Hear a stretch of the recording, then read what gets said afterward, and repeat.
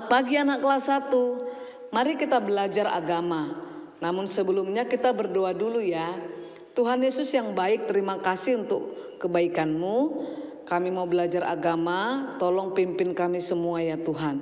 Dalam nama Tuhan Yesus kami berdoa. Amin. Firman Tuhan pagi hari ini tertulis dalam Roma pasal 12 ayat 4. Sebab sama seperti pada satu tubuh, kita mempunyai banyak anggota, tetapi tidak semua anggota itu mempunyai tugas yang sama. Judul pelajaran kita pada hari ini adalah Tubuhku Anugerah Tuhan. Tubuhku Anugerah Tuhan artinya tubuh kita adalah ciptaan Tuhan. Tubuh kita adalah pemberian Tuhan.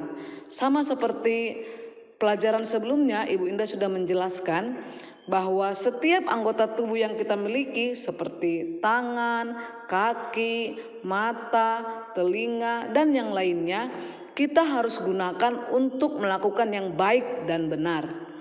Nah, anak-anak kelas 1 di rumah kamu tidak sendirian.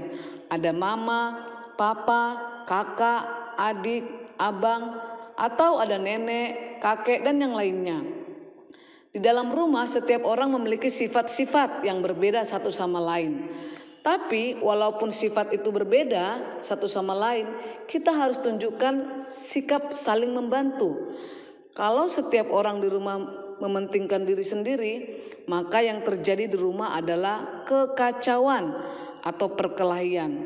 Tapi kalau di rumah terjadi sikap saling membantu, maka yang terjadi adalah kedamaian. Nah, oleh karena itu, anak kelas 1 sekalipun kamu masih kecil, kamu bisa bertanggung jawab.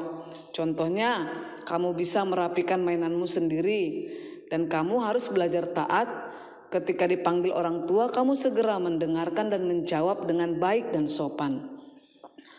Apakah anak kelas 1 memiliki pengalaman membantu orang tua atau ketika ada kerjasama beres-beres bersih-bersih rumah atau di luar rumah, pekarangan luar rumah, kalian ikut membantu orang tua. Nah, tunjukkan sikap itu terus, sikap yang baik untuk saling membantu. Di dalam Alkitab, ada orang yang memuliakan Tuhan dengan tubuhnya ketika dia mengalami kesembuhan dari Tuhan. Contohnya adalah orang buta. Orang buta ketika dia sembuh, matanya bisa melihat, orang buta itu memuji Tuhan. Dia sangat bergembira bersyukur karena matanya bisa melihat. Ada juga orang lumpuh. Ketika dia bisa berjalan, kakinya sembuh oleh karena kuasa Tuhan Yesus, dia juga memuliakan Tuhan.